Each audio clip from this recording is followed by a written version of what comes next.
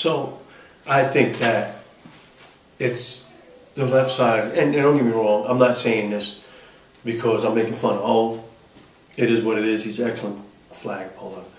Uh, he's real physical. He can run.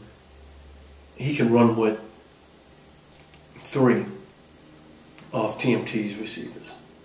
He can. So, depending on their game type situation, I don't think TMT or D. I don't. I don't think DX wants to play well. Whoever scores the most touchdowns win. I mean, if TMT can ball control, and like I said, beating DX, you got to make two important stops. Always, it's always got to be two important stops Right. with DX. And if you can do make those plays, then it's a guaranteed win. Well, I think TMT's defense really needs to, to come out and, and put a and definitely get those stops. I Yeah. mean, they fe- they're going to feature the last two Defensive Player of the Year award winners Mhm. with Tweezy and Little Pert. Uh, Tweezy won the MVP this season for his play on defense. Um, normally, uh, DX has been able to take care of, of Tweezy with the spread, and, and they take him Yeah. out. But in the last championship game, he actually made some plays. Yeah, you did. So um, whether he's adjusted to it or they've just they've not uh, made as much of an impact on him, uh, you know, we're gonna find out. Um, obviously, talent wise, this is a, a much more talented team than DX had the last championship game, and you know, TMT's pretty much it's just them. So they just they you know they all they all they got. Yeah. So uh, I, I think that speaks tremendously about what they have, just from the fact that they don't ever reload. They just show up and play, and they're always in this spot. Yeah. So I mean, teams for years, for years, uh, actually since I've been playing in the league, we're doing whatever it took to keep on pace with TMT. right, Even if it was just destroying other teams to make an ultimate merger or a whole bunch of other stuff, the bar set with that team. And uh, DX knows that, and they did what they had to do right, and they wind up beating them last year for the championship. I think that last year DX did have a, DX had the, a buy last year, and they took advantage of TMT playing uh, three games in a row. three games, right. This year is just one, and they're going to be fully stocked. So it's going to be a good game. I can't wait to see it myself. It, it, it's going to be an excellent game, and I this is again the uh, the definition of you know style, style, you know contrasting styles.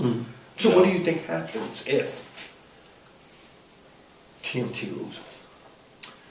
Uh, if TMT loses, it I think it's going to depend on how they lose. I mean, if they get run off the field, then maybe there's some changes that, that they decide to make. Um, if it's another, you know, one point game down to the last seconds kind of thing, then you know maybe team obviously TMT doesn't really have to change because DX put the All Star team together Right. and they still beat TMT by just one point. So it's gonna. I think it's gonna depend on how the game finishes out. Well, what do you think is going to happen if DX loses? Uh, DX loses. I obviously I think you're gonna see some turnover. I don't know if they stay together in the current format. Um, I think they. I think a lot of the guys enjoy playing with each other, so I don't see them really necessarily going apart. Um, I think a lot of them really enjoy playing the way they're playing right now.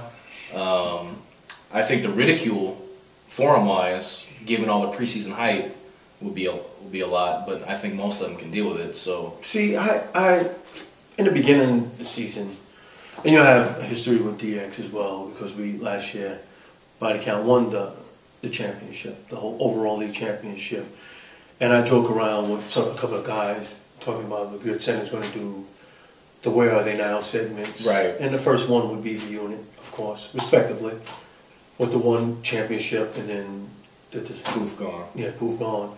And uh, I said the nut, the second one was going to be DX. Right. I, and you know, and I mentioned that because I, I personally think that you know they have a team, a good team. They have an excellent team, They do. but uh, I think the missing key ingredient of this championship game, as opposed to last year, is wit.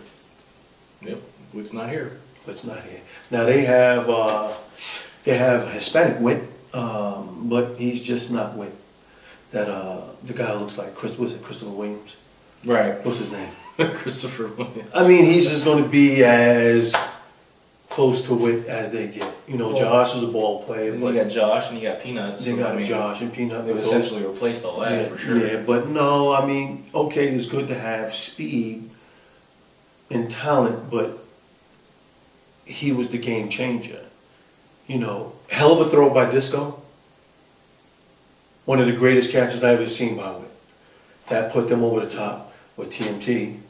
And if it wasn't for the drop pass in the end zone, TMT wins that game.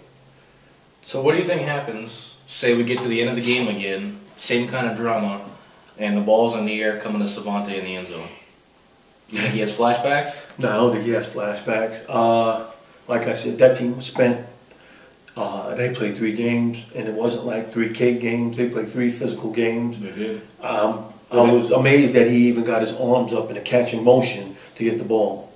But it, it is what it is, and you know, if you talk to everybody in TMT last year in the championship game, they were like, you know, it was a good game. Uh, we can't take anything away from DX. They They made no job. excuses. They made no excuses. They gave all the credit in the world to DX. So, You know, they did, and but I think they're still out for some some vengeance. They are, and this is what it's going to happen. I think that was evidenced by their appearance in the Grid Cup, the way they came out and just ran up the score on everybody. Yeah. I think that was that was uh, that was the case. So, uh, predictions, we're not going to make any. No, I'm not. We're just going to go ahead and, sh- and show up and watch the games, and I hope it's a very exciting game all the way down. And you know, we, we don't want to build it up too much because last time we did that for a game, it was a massacre. Sick with it? sick with TMT game when Yeah. TMT really took them to the woodshed. Yeah, I remember that. So uh, we're gonna go ahead and just leave those alone, Yep. and uh, we're just gonna say, you know, congrats to the two teams that made it. Good luck to everyone out there. Uh, you know, Jordan and Tank have fun, and uh, you know what can we say? We'll have a champion on on Sunday, Yeah, and for those who are wondering, this game starts at 1 o'clock. 1 p.m. Field One at Fountain Park. See you out there. Thank you.